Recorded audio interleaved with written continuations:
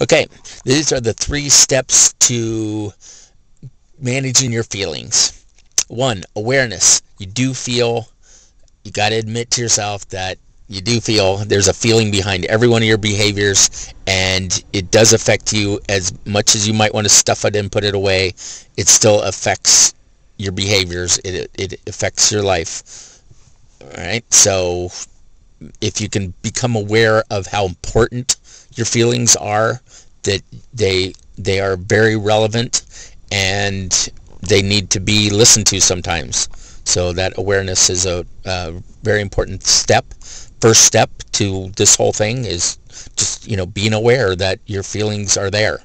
Okay. Second step is, or awareness part two is being able to identify different feelings.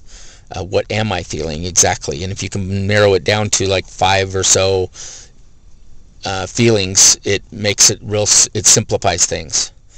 So, um, A, first is awareness. A, second is acceptance. Please allow yourself to feel what you feel. Your body, uh, Paula didn't like this one, but when you got to go to the bathroom, do you make a big deal out of it? Do you get all stressed out that, oh my God, I got to go to the bathroom?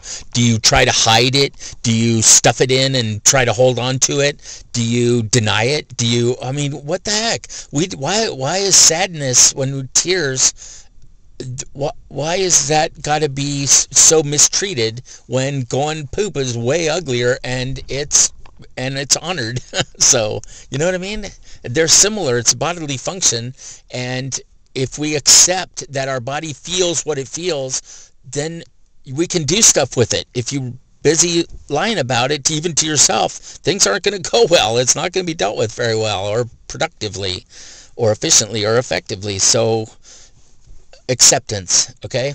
You don't, it doesn't mean you have to do anything necessarily with them. That's step three, okay? Action. Step three is action. What are you going to do or, or not? You don't have to do anything with them.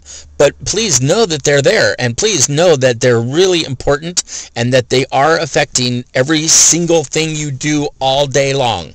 Okay? But other than that, they're no big deal, but they do affect everything. everything.